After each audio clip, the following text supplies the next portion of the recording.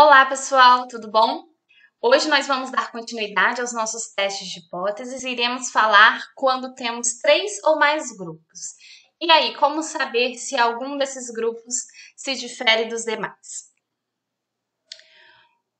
Bom, então a gente vai ver aqui alguns testes que a gente pode utilizar quando a gente tem uma situação de comparação de três ou mais grupos. Nós iremos ver nesta videoaula a ANOVA, a ANOVA com Welsh e o teste de Cruz-Watts. Mas caso a gente esteja avaliando né, grupos pareados, assim como a gente fez lá com o teste T pareado e o teste de Wilcoxon, as nossas alternativas são a ANOVA de medidas repetidas e o teste de Friedman. E lembrando que a escolha do tipo de teste está relacionado com né, as suposições desse teste. Bom, então agora a gente tem a seguinte situação: a gente tem uma variável quantitativa, certo? Então, por exemplo, idade, peso, altura, e a gente quer avaliar essa variável quantitativa em relação a três ou mais grupos. Logo, a gente tem uma variável qualitativa com três ou mais categorias. Então, agora nós iremos falar dos testes utilizados para avaliar se três ou mais condições ou grupos diferem entre si em uma ou mais variáveis. Então, para começar, né, e no nosso vídeo, a gente vai falar apenas dos grupos independentes. E aí pode surgir a seguinte pergunta: Bom, se eu vou avaliar três ou mais grupos, eu não posso fazer uma comparação par a par, ou seja, eu não poderia fazer vários testes T ou alternativamente, né, teste de Meno Whitney comparando de dois em dois grupos? Bom, aí a gente precisa ter um certo cuidado. Por quê?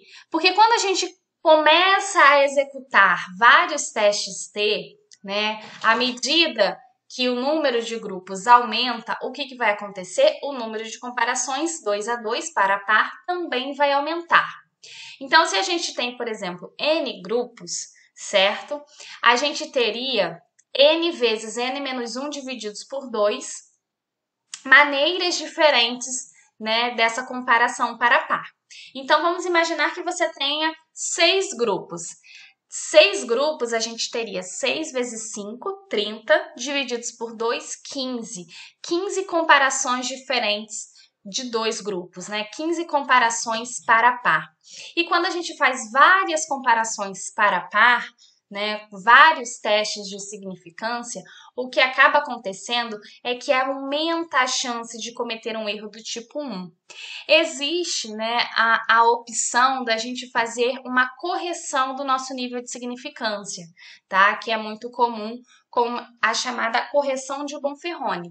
Só que aqui no nosso caso, né, nessa videoaula, a opção que eu vou oferecer para vocês é utilizar então um teste que seja adequado para três ou mais grupos. No nosso caso, a ANOVA ou o teste de Cruz-Wallis.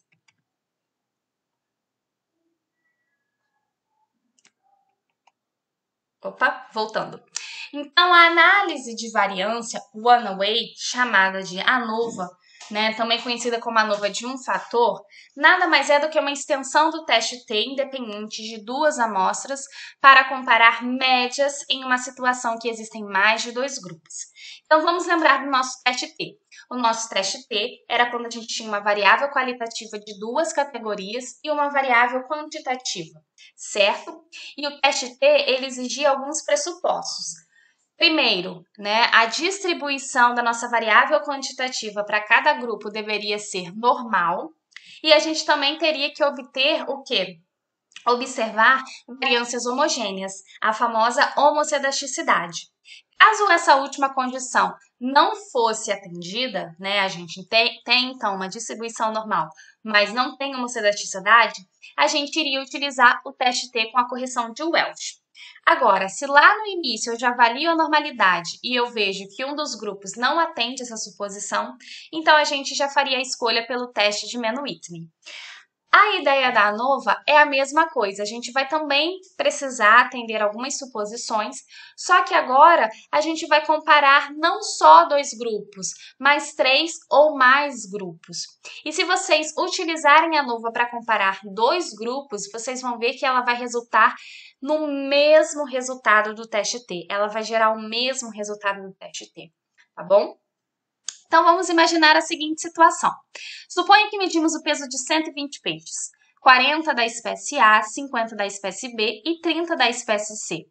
Queremos saber se pelo menos uma das médias não é igual às outras. Então a ideia aqui é comparar. Será que existe, né, algum grupo de peixes que se difere em relação ao peso? Será que a gente tem um grupinho de, de peixinhos mais gordinhos ou um grupo de peixinhos mais magrinhos? Né? Então, aqui no caso, a gente tem três grupos. Então, o teste T aqui já não seria adequado, mas sim uma nova. Mas, para a gente saber se uma nova é adequada, o que, que a gente precisa fazer? Avaliar os pressupostos.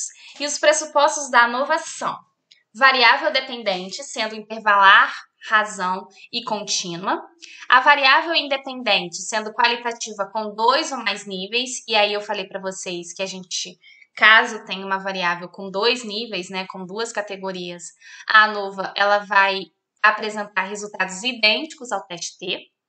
Dados de cada grupo normalmente distribuídos, olha aí, igual ao teste T. As observações são obtidas de forma independente e aleatória a partir da população definida pelos níveis de fator. Então, ó, grupos independentes e não pareados, ok? E os resíduos são normalmente distribuídos, né? Os resíduos serem normalmente distribuídos, no caso, a gente está olhando os resíduos como um todo, tá? Então, essa situação, ela pode ser avaliada posteriormente, após a realização da NUVA, ou a gente poderia avaliar inicialmente se cada grupo segue uma distribuição normal, ok? E por fim, os grupos possuem a mesma variância, ou seja, a nossa homocedasticidade. Então, se vocês lembrarem, assim né, como o teste T está para nova, a gente vai ver que o teste de Meno-Whitney vai estar para o teste de Kruskal-Wallis, que a gente vai ver logo em seguida. E aí, quais são as hipóteses da ANOVA? Logo, como a gente já sabe que as, as a hipótese nula, né? Ela trabalha com igualdade, em que não há diferença. A gente diz que as médias dos diferentes grupos são as mesmas, ou seja, as médias são iguais, não há diferença entre as médias. E a hipótese alternativa em um teste bilateral é de que pelo menos uma das médias não é igual às outras, ok? Então, se a normalidade for atendida, mas as variâncias dos dois grupos comparados forem diferentes, ou seja, eu tenho uma heterocedasticidade, iremos utilizar a ANOVA com o Welsh. Então, ó, igualzinho no teste T. Lá a gente tinha o teste T com correção de Welsh, agora a gente tem a ANOVA com a correção de Welsh. Ok? E como que a ANOVA funciona? Bom, a ANOVA ela trabalha com a famosa razão F.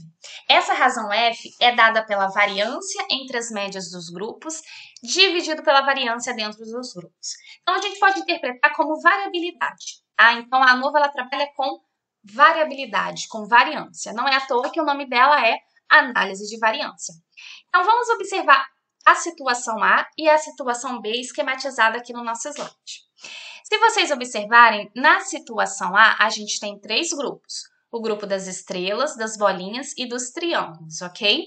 E os grupos, eles estão bem misturados, né? A gente vê uma grande interseção entre os grupos, concordam? Enquanto que aqui na situação B, a gente já vê os três grupos bem separadinhos, não há uma interseção entre eles. Voltando para a situação A, a estrelinha preta, a bolinha preta e o triângulo preto representam a média de cada um dos grupos, tá? Então é como se eu fosse calcular ali uma média e eu encontrei um ponto central. Vamos pensar assim, tá? Então, eu tenho aqui, né, o valor central da estrelinha, da bolinha e do triângulo. E aí eu também calculei uma outra média, né, um valor central dessas três médias, que é esse quadradinho pequenininho aqui no meio, tá certo? Cada setinha representa para mim um tipo de variância. A setinha lisa, certo? Ela está partindo daquela média das médias e indo em direção a cada uma das médias, concordam?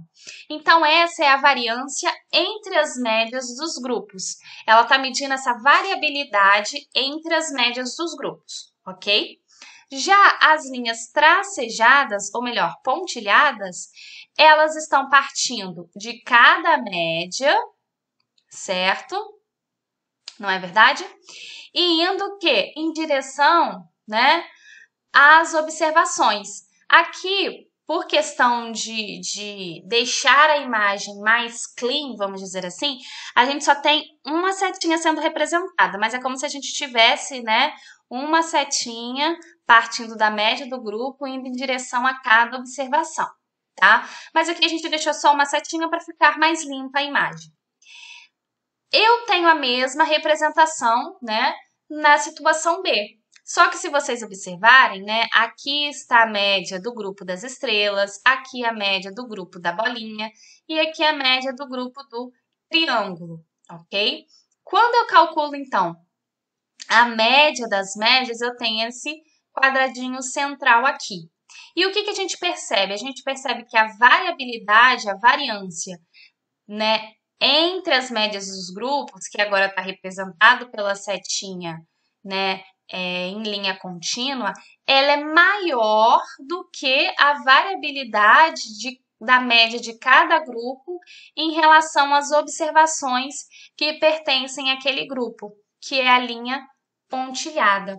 E vocês percebem o quê? Que na situação B, os grupos eles são bem separados. Então, com certeza que eu falaria, né, há uma diferença entre as médias dos grupos. Já aqui não. Aqui já é difícil. Olha como os grupos né, apresentam uma grande interseção. Então, a razão F ela vai calcular exatamente isso. É a variância entre as médias dos grupos dividido pela variância dentro dos grupos. E aí, se vocês observarem, né, na situação A, eu tenho uma variância entre as médias o quê? Pequena.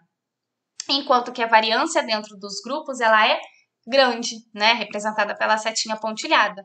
Então, se eu tenho um número pequeno dividido por um número grande, eu vou ter uma razão que pequena, certo?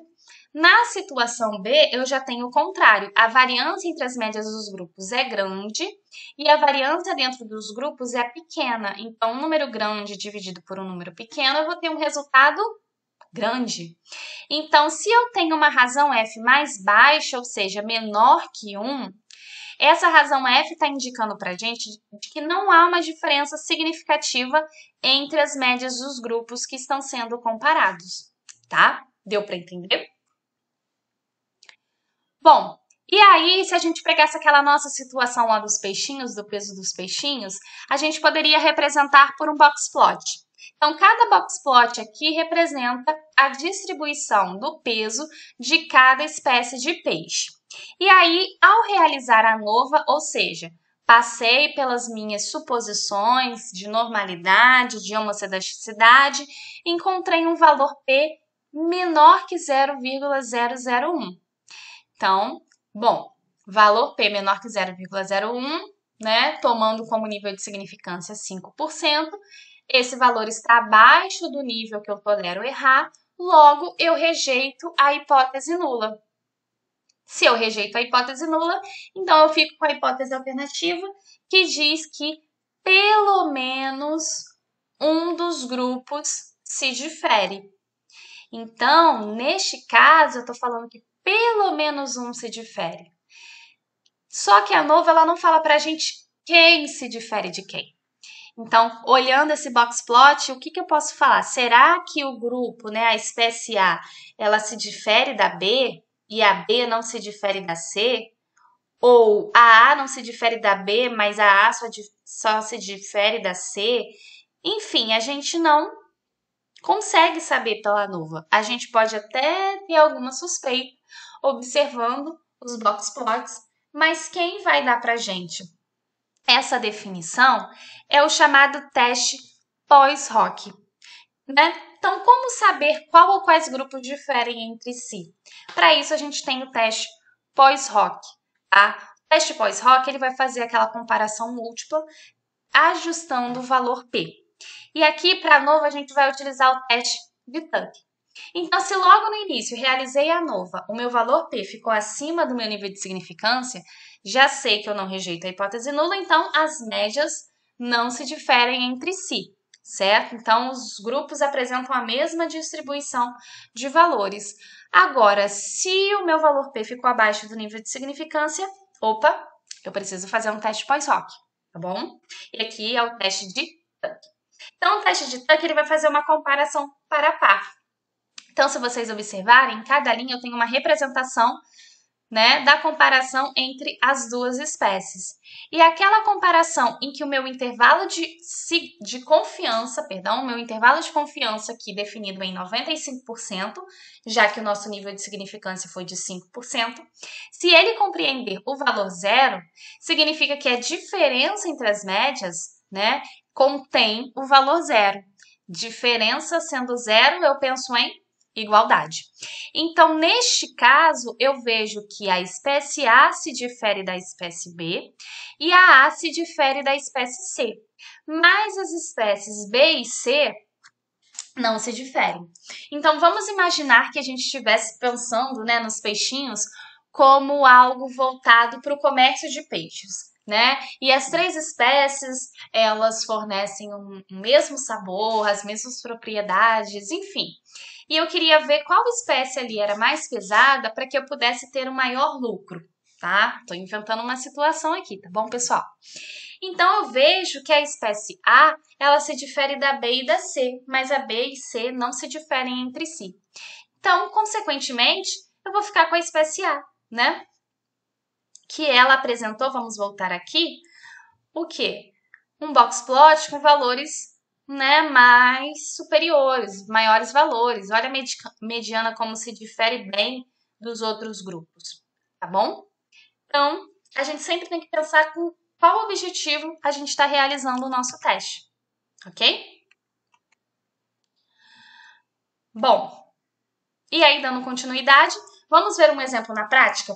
A gente tem um exemplo aqui que é do artigo Avaliação do Potencial Citotóxico e Mutagênico Genotóxico do látex de Janaúba, tá? E aí, esse estudo mostra, né, lá na sua metodologia, o seguinte: os dados obtidos dos tamanhos das raízes e do índice mitótico foram tabulados em planilhas do programa Microsoft Excel e as avaliações estatísticas foram realizadas no programa GraphPad Prism versão 5.0.1 com análise de variância nova, seguida do teste de Tucker com nível de significância de P menor que 0,05. Então, vamos ver aqui como que ele mostra para a gente os resultados. Médias e desvios padrão da frequência de micronúcleos para diferentes concentrações do látex sobre o sistema teste de Allium-Cepa. Então, a gente vê aqui os nossos grupos, certo? A gente tem um, 2, 3, 4, 5, 6, 7, 8, né? Oito grupos, tá? E aqui, para cada grupo, a gente tem a média e o desvio padrão. E a pergunta provavelmente foi: bom, será que existe diferença, né, nesse nessas médias de micronúcleos em relação a esses oito grupos? E aqui a gente vê o seguinte, como que eles fizeram a comparação, né? Então, se a gente olhar aqui no rodapé, a gente vê o seguinte, se eu tenho uma representação de asterisco, é porque o meu valor P ele foi significativo, né?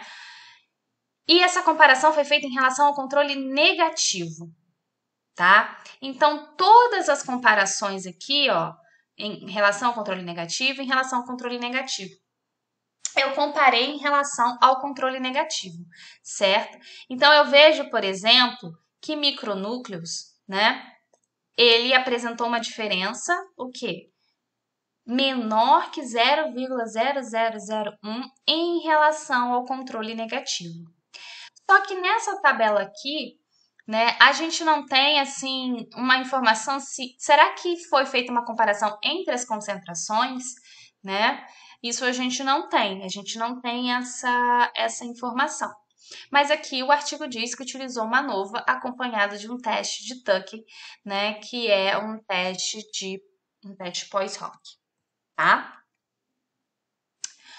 Bom, e aí, se a gente cair naquela situação em que os meus grupos não apresentam distribuição normal, ou pelo menos um deles né, apresenta uma grande assimetria, presença talvez de outliers, algo que realmente destoa de uma distribuição normal, a gente vai ter que utilizar um teste alternativo, que é o nosso teste não paramétrico. E aqui o nosso teste não paramétrico, alternativo à nova, é o teste de Kruskal-Wallis. Assim como o teste de Mann-Whitney, ele também é o teste baseado em ranqueamento ok? O teste não apresenta suposições sobre a distribuição dos dados e não aborda hipóteses sobre as medianas dos grupos. Tenham cuidado, porque às vezes a gente vê, né, alguns materiais falando que o teste de Kruskal-Wallis está comparando medianas. Na verdade, o teste aborda se é provável que uma observação em um grupo seja maior que uma observação no outro. Eles trabalham com as médias dos postos, as médias dos ranqueamentos, o que é diferente da mediana. E aí, como a gente sabe que o teste não paramétrico não tem lá grandes suposições, a gente só tem que ter essa garantia de que a nossa variável dependente ela é intervalar razão contínua, né? Intervalar ou razão contínua, e a nossa variável independente ela é qualitativa com dois ou mais níveis. E aí as nossas hipóteses vão ser as seguintes. A hipótese nula, os grupos são amostrados de populações com distribuições idênticas, e na alternativa, num teste bilateral, os grupos são amostrados de populações com diferentes distribuições. Perceberam que aqui a gente não fala de média? Por que, que a gente não fala de média? Porque se os dados não seguem distribuição normal, a média não é a melhor medida. Lembram disso lá da estatística descritiva? Pois bem, então aqui a gente vai comparar as distribuições. Então, nada de falar de média, tá bom? Média a gente fala lá na nova. E como que o teste de Cruz-Wallis funciona? Basicamente, ele começa atribuindo uma classificação no conjunto de dados geral para cada valor de medição. Então, veja um exemplo abaixo. A gente tem os grupos A, B e C e três observações para cada grupo. E aí, então, a gente vai começar a observar quais são os menores valores e ir em direção aos maiores valores. A gente percebe que os, o menor valor é o valor 4, só que o valor 4 aparece tanto no grupo B quanto no grupo C. Então, eu tenho que atribuir a mesma pontuação, o mesmo ranqueamento para esses dois valores. Logo, eu somo 1 com 2, que seriam os dois primeiros ranqueamentos, e divido por 2. 1,5. Então, 4 e 4 vão receber a posição 1,5. O próximo valor é o valor 5. Como não há empate, então o valor 5 recebe a posição 3. Em seguida, a gente tem o valor 6, que recebe a posição 4. Logo em seguida, o 7, só que o 7 aparece duas, o 7 aparece duas vezes. Então, eu vou somar 5 com 6 e dividir por 2, e ele recebe, então, os ranqueamentos 5,5 e 5,5 e assim sucessivamente. Ao fazer isso, né, a gente vai calcular a estatística do teste. Então, a estatística do teste, ela trabalha com a soma das classificações para cada grupo. Então, após né, o ranqueamento de cada observação nos grupos, eu somo esses ranqueamentos. Então, o grupo A teve um valor de 20, B 10 e C 15. Então, aqui a gente vai comparar né, esses ranqueamentos. E aí, o teste de Cruz-Cooley também tem teste de pós-hoc? Também tem, já que a gente viu que na hipótese alternativa a gente simplesmente falou que alguma, algum grupo ali apresenta uma distribuição diferente. Mas qual grupo difere de qual? Então, novamente, a gente precisa de um teste pós-hoc. E aqui o que a gente vai utilizar no nosso curso é o teste de Dão, tá? Ele provavelmente é o mais popular para o teste de Cruz-Coutts, mas também existe o teste de Nemen, que também é muito utilizado. E aí, como sempre é bom, vamos ver um exemplo na prática. Temos aqui então o um artigo Perfil epidemiológico, clínico e terapêutico da insuficiência cardíaca em hospital terciário. E aí a gente encontra lá na metodologia. Para as variáveis quantitativas, utilizaram-se análise de variância ANOVA One-Way, seguida pelo teste, né, pelo pós-teste de Tuck, e o teste de Kruskal-Wallis, seguido pelo pós-teste de Dunn, considerando a normalidade da distribuição dos dados verificada pelo teste de Kolmogorov-Smirnov. Neste artigo, eles utilizaram o teste de Kolmogorov-Smirnov, mas no nosso curso a gente está trabalhando com o teste de Shapiro-Wilk. Ok? Então, aqui esse exemplo é bacana porque a gente vai ver os dois conteúdos. A Nova com Tuckey e Cruz Wallace com Dom. Então, vamos olhar aqui essa tabelinha que eles apresentam no artigo, tá? É importante, gente, como eu já falei para vocês várias vezes, que toda tabela seja autoexplicativa.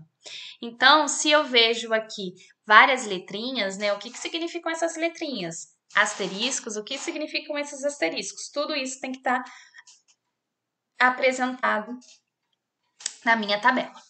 Então, se vocês observarem, né, vamos pegar aqui a primeira linha.